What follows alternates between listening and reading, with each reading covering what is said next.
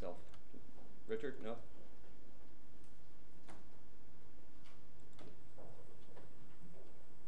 On mute. How's that? Yep. All right. Okay, um, I am here to talk about uh, the double I IF, the I3F, triple IF, IFE. Um, it is still a floating uh, acronym uh, in terms of, at least in terms of enunciation. Um, I'd like to point out that while I'm up in front, now I'm getting echoes in my head more than normal. Um, Simeon Warner and Rob Sanderson up here in the front are uh, the full participants in the effort and actually uh, two of the three co-editors for the draft image API that I'm going to talk about. So um, though they are multitasking uh, and working because they've heard all of this and it's kind of them to come, they might find themselves on the spot to answer particular questions. Uh, and actually, I am cognizant that I am between you and lunch, and blood sugars and circadian rhythms are all out of whack. So I actually have some questions for you. Um, so I think I'm going to go through this um, relatively quickly. It's an image-based presentation, so uh, they don't necessarily need lots of discussion. But I think that the, this is a topic where uh, it would be interesting to get the open repository community's input and ideas about where this may go next what are specific use cases, and what are specific pieces of software that might be relevant in, in the context of this initiative's objectives. Uh, so there's, there's sort of a, um, uh, an, an, irony in the fact that digital images are one of the primary information carriers for lots and lots of context um, that's on the, the internet. So it's uh, books, manuscripts, newspapers, as visual resources, there are archival materials, maps, um, uh, scrolls, architecture, there's even medical data and uh, the various types of science, technology, and engineering uh, products that are all visually um, conveyed. Um, and yet, ironically, really excellent image delivery is difficult. Um, it's, it's technically challenging. It's challenging to do it well. Um, it tends to be slow. It tends to be expensive to develop and deploy, either in terms of licensing or in terms of time. Um, when it is deployed, it's disjointed across our community and across our environment, and often it's ugly. And you could say, well, in fact, that's not true, and things are as good as they've ever been. But if you look at some of the bright spots, if you look at something like uh, Seadragon in terms of performance, or the Google Art Project in terms of kind of the slippiness and the interactivity, or you look at a few pockets of the internet where people have laced in annotation or transcription tools to overlay their materials, it's amazing what the bright spots are doing and what the rest of us are doing. And it's kind of like five years ago when everyone developed their own page turner. And why were there so many page turners is, well, they were all mediocre and it was easy enough to do. And where are we five years later? Well, there are fewer of them because there's been some convergence. But in general, they're still easy enough to do and they're still almost all mediocre. Um, can we do better than this as a community? Um, and the problem is, uh, because it's kind of a, a disjointed and uh, uh, ineffective environment right now, is the repositories suffer. Uh, software developers who have got innovative tools suffer uh, because they don't have a large enough market to necessarily to deploy their tools against. Uh, the users certainly suffer in terms of user experience and trying to navigate across different islands of content. And funders suffer because a lot of times they want to pay for the development of a resource, and what they're basically doing is they have to pay for the redevelopment of yet another mediocre wheel. Uh, and so, so real use cases, uh, consider there's a paleographer who would like to compare scribal hands from manuscripts that are held in two different repositories. So digitized manuscripts and what's uh, this author had particular marks uh, and that author had particular marks and I'd like to do a, a cross annotation. So uh, typically, the way medievalists do this now is they uh, make a side deal with a repository and say, could I have a high resolution image of the pages that I'm interested in? Not, it's kind of like Simeon uh, and the ResourceSync, it's, it's not an efficient method of trying to transfer large amounts of content or expose large amounts of content. Um, art and architecture instructor who would like to develop a teaching collection. Uh, again, most people are grabbing lower resolution images off the internet and creating local file stores what happens when the images are upgraded, what happens when new tools are actually developed in the host sites, those are not accessible. Uh, humanities scholars who would like to annotate a, uh, a historical map to say this was, uh, this was Napoleon's march into Russia and this is what it looks like on various maps. Um, there are lots of great cartographic tools that support annotation, um, but they are not necessarily deployed against all the places historical maps live. And if you've got a map in one place and a annotation environment or server in another place, and you can't feed the image through that annotation environment, you're out of luck. Um, from a lot of this room's perspective, uh, you've got a lot of rich content. You've uh, started digitizing newspaper. You would like to develop and deploy a, a newspaper viewer that supports deep zoom into your site. Um, that's not a trivial, that's, a non-trivial exercise at this point. It's going to require a substantial amount of development. Um, how, is, how effectively could we, how could we make this more efficient as a community? And from a funder, whether they're paying to digitize something or expose a new set of digital resources, could we start mixing and matching, or could they see mixing and matching of existing components? So really, the content development and the content delivery can really be separated out into separate concerns. Okay, people are absorbed. Okay, this is good. So i am making a case that uh, the world is not perfect. Um, uh, so we started uh, last September a year-long initiative to look at trying to improve this environment. And as I said earlier, it's six of the world's leading research libraries and Stanford have gathered together to see if we can make something uh, more sensible and more rational out of this environment. Um, and just among the, the starting in seven institutions, this is, we did a, a, comparison at the first workshop that we had last September um, uh, with, with the seven participants and we looked at the range of different image interfaces that we had across all of our seven sites. And there were something like, well, not counting Oxford, um, there were probably something like 15 or 20 interfaces. If you count Oxford, it was probably something more like 40 or 50. Um, Neil Jeffries has a fantastic portal where it's kind of, it, the Bodleian seems, and uh, Wolfram, you might be here, or Anusha, you might be here. There we go. Uh, there we go. So you can, Apple opportunity to correct or confirm what I'm saying. Um, it's sort of like the halfway house for discarded, or not discarded, but legacy, proud legacy digital humanities collection websites where grant funding runs out and researchers at Oxford say, what should we do with this? And the answer is give it to the Bodleian. And they've got all sorts of vintage collections that go from the mid 90s up to, the, up to this decade, um, all using different stacks, uh, all using different data models. And it's, it's quite amazing. So uh, just across that, you can see the, the range, and I think most of the institutions that were there would say, hey, we're doing, yes, we can deliver our images, but in general, we don't think that these are necessarily best of breed tools or delivery environments. And for those of us who are deploying more than one environment, that might not be a bad thing, but we'd certainly like all the images available through a best environment, uh, a best common environment, even if there are specialist tools. Um, and so if you take a, if we take a step back and we look at, let's look at a particular microcosm of content, um, which is digitized medieval manuscripts. This is something that Stanford's been involved in for about the last five years. We've been, or maybe six or seven at this point, uh, with uh, Parker on the web application. So this is uh, about 560 digitized um, Anglo-Saxon manuscripts that are held at Corpus Christi College in Cambridge. Cambridge digitized them, um, Stanford put them online, and so we did this, uh, we did this development of this really nice, arguably best-in-class uh, manu digital manuscript deli delivery site. Um, and we're not the only ones to have done that. Um, the Roman de la Rose application at Johns Hopkins University has got something, it's got several hundred uh, uh French manuscripts. Uh, the Bibliothèque Nationale has got uh, more than several hundred French manuscripts uh, delivering out through Gallica, which is their uh, front-end uh, search engine and deli content delivery application.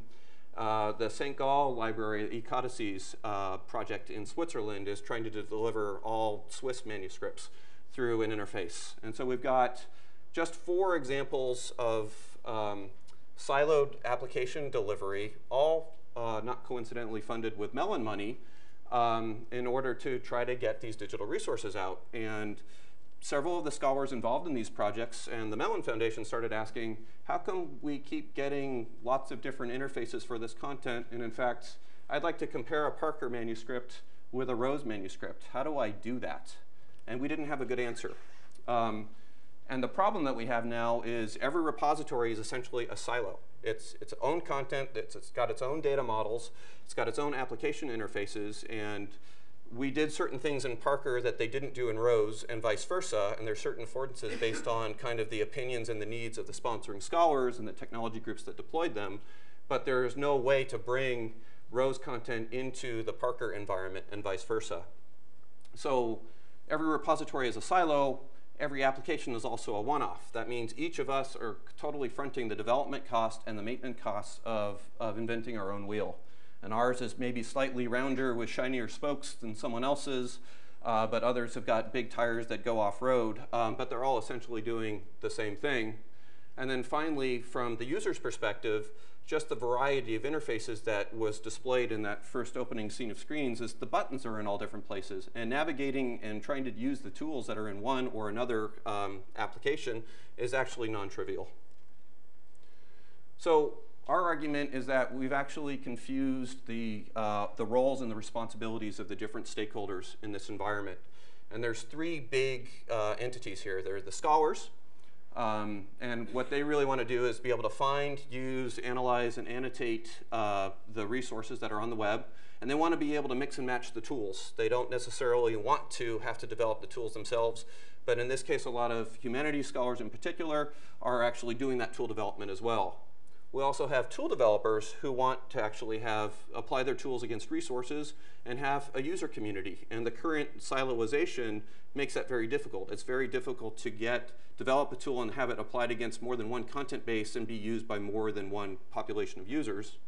And from a repository perspective, we'd really like to see the separation of content from its delivery. And if we can host the content, we know the applications are going to change over time.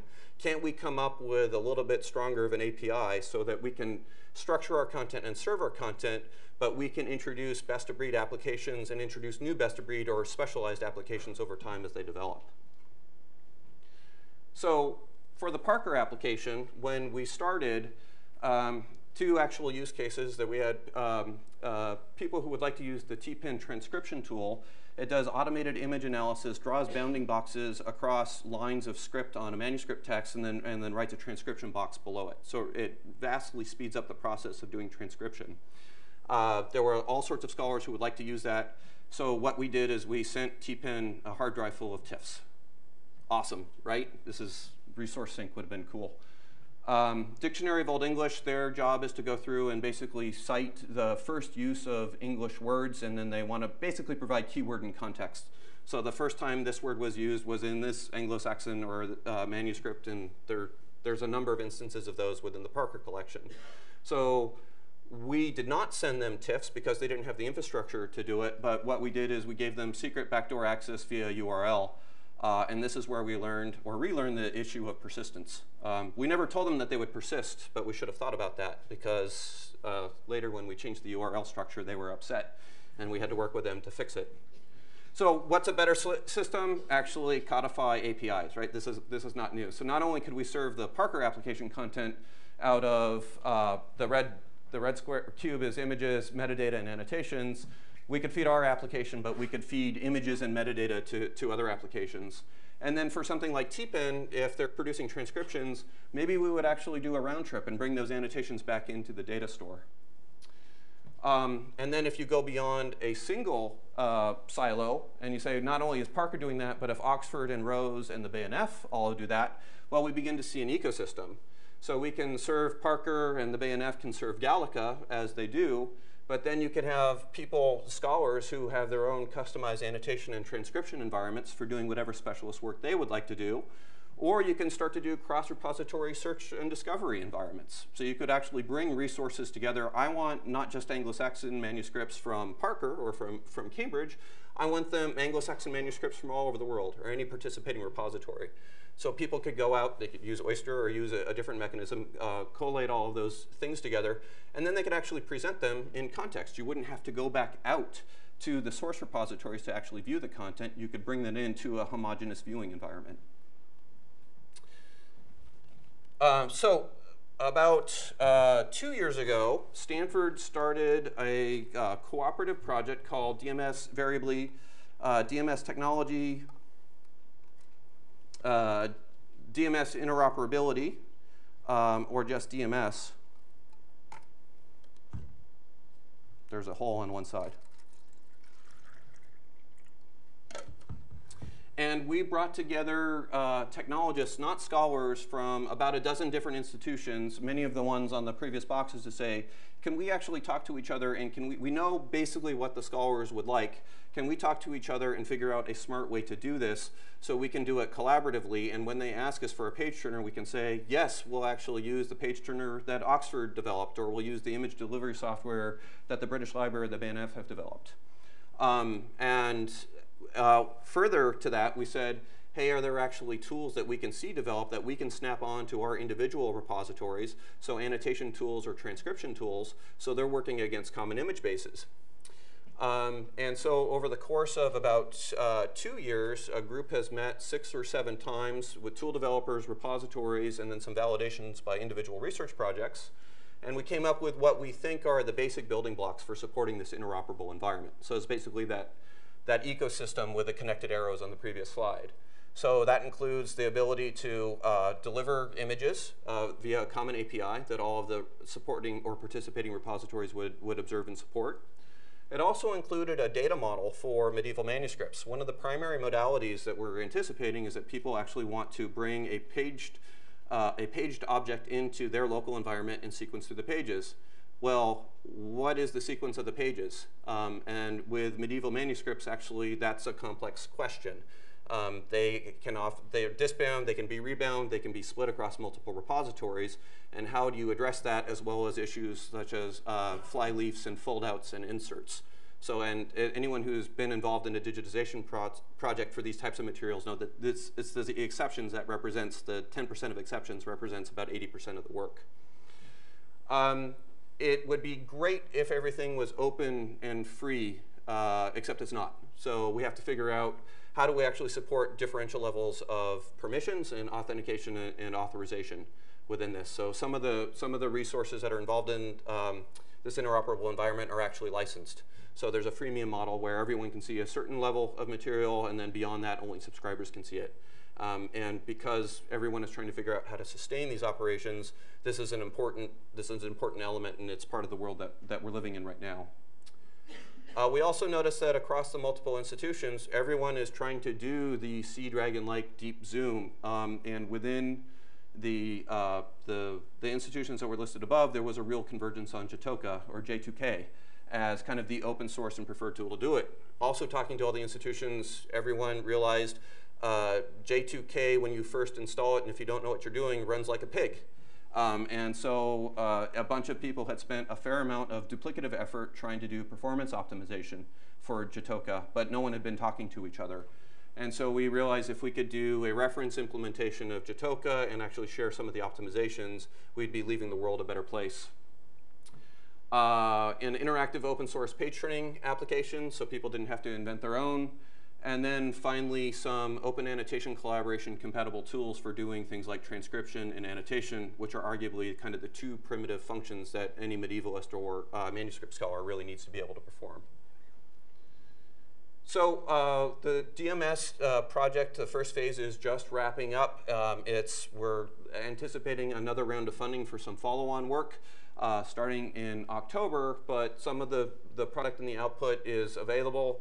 So this is an example of a, um, a combined index which actually has, is there a laser on this? Maybe. Oh, cool. Uh, a combined index which is pulling from um, Oxford, the BNF, Stanford, uh, the, the, British Library, and you can get thumbnail views. These are actually being pulled from the, from the remote repositories using the image API. And then there are dig, deep links back into the API using the shared canvas data model. So you can actually go not just to the top level uh, resource, but you can deep link into it because there's a common understanding of what is the structure of the manuscript. And then within, if you go to an individual resource, um, if you go to an individual resource, there are links out to the annotation tool, which is DM for Digital Mappaemundi or uh, the transcription tool from TPEN. And when a user clicks on that and they've already got an account, uh, basically those remote tools are doing a dynamic pull of the image and the necessary metadata into their environments using this interoperable environment. So TPEN's not pulling from the, the hard drive of uh, the hard drive of TIFFs that we gave them a while back. So this makes perfect sense, right, in the world of manuscripts. It's a, it's a finite world. Uh, there are a lot of people who, and a lot of institutions who already know each other. It's a community of scholars that's got a certain level of bounds, so it's, it's surprisingly large to a non-medievalist. Um, and if we could just collaboratively get our act together here, we can actually further manuscript studies. Um, so at the third DMS meeting, um, Sean Martin from the British Library and Neil Jeffries from Oxford and I went to a Cuban restaurant in Palo Alto because they don't get Cuban food here, I notice.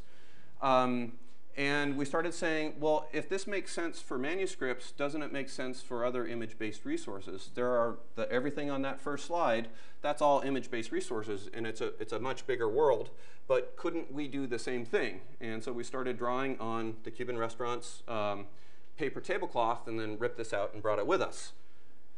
Um, and so basically, IIIF or IFI or IIIF is can we take some of the precepts and the tools and the APIs that we've started in the DMS environment and can we bring them to uh, the wild, wild, wider world of images?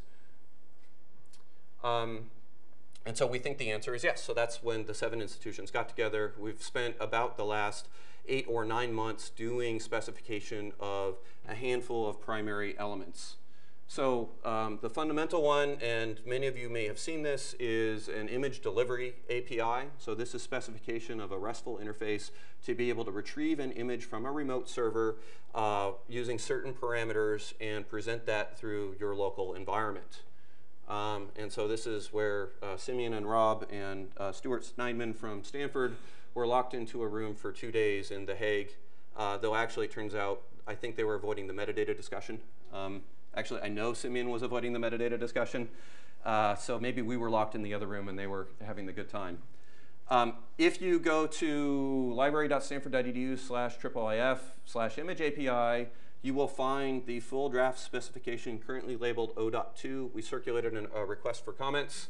And basically, it allows you for any uh, given uh, resource from a source repository with a prefix to pull an image um, either in toto or a fragment of it, um, to scale that image, in this case size it, to rotate it, and then to get color uh, or a, a, quality level, and then to get a specific MIME type or specific file format.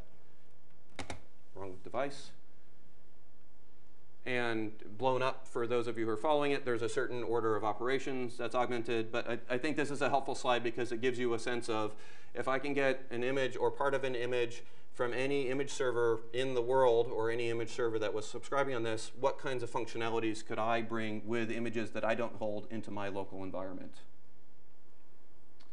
Uh, a note on that, we are meeting at the end of this week, the working group, and we're going to, uh, we've received a number of comments from the RFC, and uh, there's been an analysis done on that. We're probably going to do a final acceptance on that and then promulgate um, the standard as 0.9 for now until there's enough implementations to either confirm that it's 1.0 or to make a few additional changes. So if you have not seen this and would like to comment on it or review it and want a chance to get the information or get any kind of input into the O.9 proclamation, uh, you have until Saturday at 4 p.m. Edinburgh time. Um, the second thing that we realized is to actually be able to consume images and display them in remote environments is you need some level of metadata. And this is not, let's come up with a brand new metadata scheme.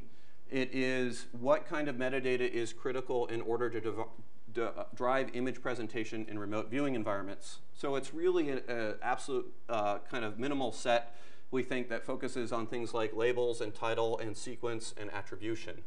Um, this is one of the, this is the main topic for this weekend. Uh, so if you check this space again later, you'll find more information.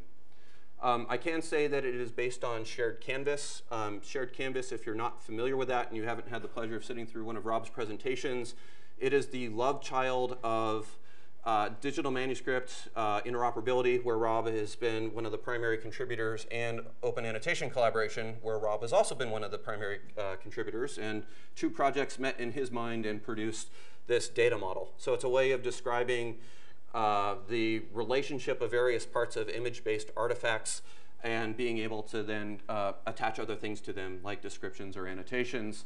Uh, uh following the precepts of linked data to allow for uh, open annotation uh, enabled and aware tools.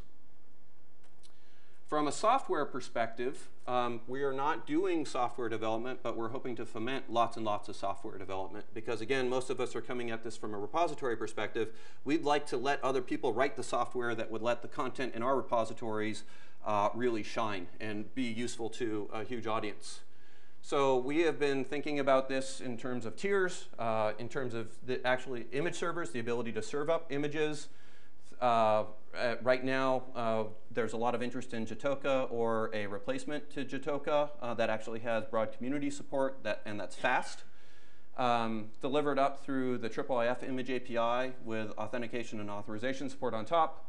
But then that's being delivered through a set of tools that support uh, deep zooming and panning and rotating. So anything that you're familiar with with Google Maps or with, with Seadragon. And then embedding kind of those portals into um, domain-specific uh, things like page turners or, uh, or gallery views or cover flows.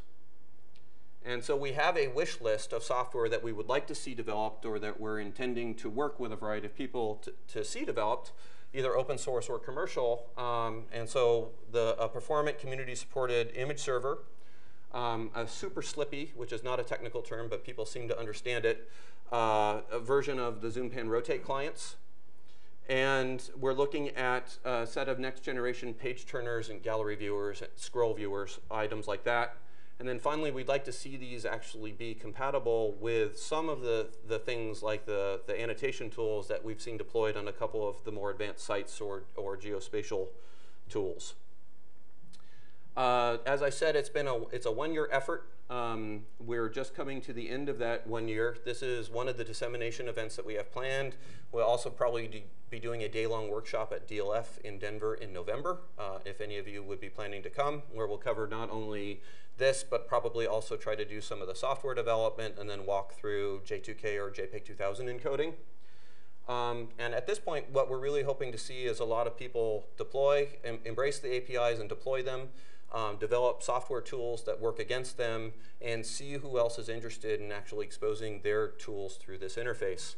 Our belief is that if we can spec the APIs and we can expose enough resources, just among the seven institutions that were at the first meeting, we counted something like over 10 million individual uh, bibliographic entities, image-based entities. So that's not pages of Google Books with 300 images. That's that's uh, individual manuscripts or pieces of art or uh, fill in the blank. If you, it's hundreds of millions or billions if you add in the page turn items. Um, but that leads to a broader question, uh, which I haven't left a lot of time for. But what's the collective image base of the open repositories community? Could we actually enable DSpace, eprints, and Fedora to support the IIIF APIs natively? And what would that do for us as a community? uh, what applications have some of us deployed in terms of access that could benefit from these types of modalities? What would you actually want to show, and what would you could you bring together for for documents of the North, uh, um, for these image-based materials, for example? Do you have specific use cases that we should be considering? One of the things that surprised us, because we'd been coming at this out of the, the manuscript space, or many of us, as soon as we published the image API, we got a number of use cases from science, technology, and medicine saying this would be great for looking at images of cell trays. Um, can, have you thought about that? And the answer is no, we hadn't thought about that, but we know there's additional use cases. And then finally, what should IIIF do next? If you think that this makes sense and you think that there is some forward progress uh, and path to be made here, we're just coming to the end of the first year initiative. Um, if you think there's a, a, way to do involvement, if there's a funder that might be there, if there's a dissemination event that you have in mind, please come talk to me or Simeon or Rob. And that's it. Uh, the last thing is some key links on IIIF, DMS, and Shared Canvas.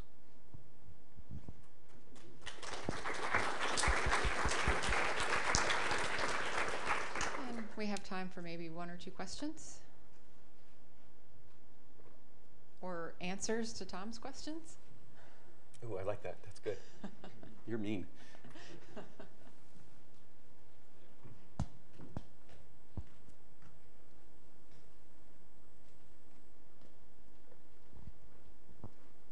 Anyone who asks a question can have a Hydra t-shirt.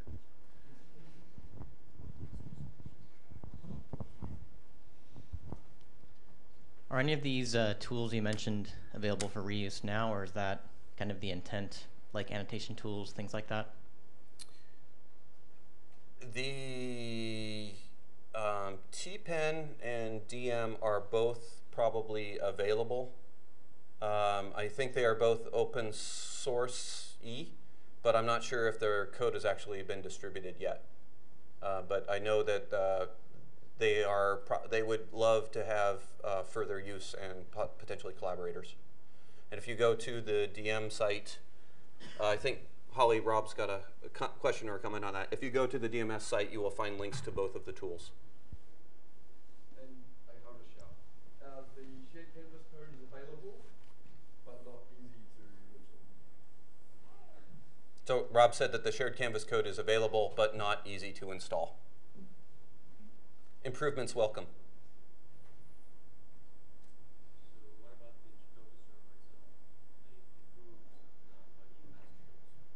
Yes, so the question is what about Djatoka and the improved non-buggy fast version? Um, our conclusion is that th- there is a need for this. Um, th- there is a space for this. There is even just starting with baby steps of sharing what people have done to patch it or uh, enhance it would be valuable. Um, I think what we're seeing is that there is a need for that. No one has stepped up to the plate yet. Um, and it would be interesting to figure out what would actually make that work on a broader basis.